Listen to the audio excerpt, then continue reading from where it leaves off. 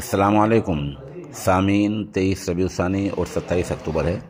خبر کا عنوان اب ایران کیا کرے گا؟ آپ کو پتہ ہی ہے کہ گزشتہ روز یعنی سنیچر کے دن، رات کا جو آخری حصہ تھا، اس میں اسرائیل نے ایران پر حملہ کیا ہے۔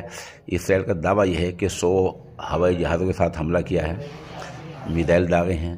اور جو وہاں کے ایران کے جو فوجی ٹھکانے ہیں، جہاں سے میزائل تنصیبات ہوتی ہے، میزائل جہاں سے داغے جاتے ہیں اور جو جہاں ہتھیاروں کا ذخیرہ رہتا ہے، جہاں تیل کا ذخیرہ ہے، وہاں ان تین جگہوں پر اسرائیل نے حملہ کیا ہے، ایسا اسرائیل نے دعویٰ کیا ہے۔ لیکن کیا ایسا کیا ہے؟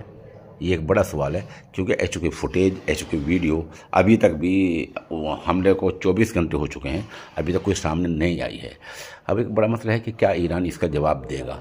آیت اللہ خامنہ ای ابھی چپ ہیں البتہ ایران کے نائب صدر نے اعلان کیا کہ ہم وقت پر صحیح جواب دیں گے۔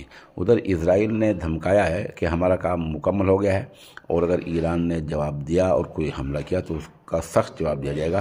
اس بیچ امریکہ کا ایک بیان آیا ہے۔ امریکہ نے کہا کہ ایران کو اب حملہ نہیں کرنا چاہیے، ایران پہلا حملہ کر چکا ہے اور اسرائیل نے اس کا جواب دیا ہے اور اب ایران کو چپ رہنا چاہیے۔